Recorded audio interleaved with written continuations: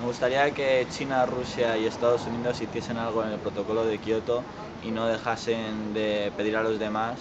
y sin hacer nada de ellos y sin implicarse un poco en este mundo que vamos a destruir muy pronto.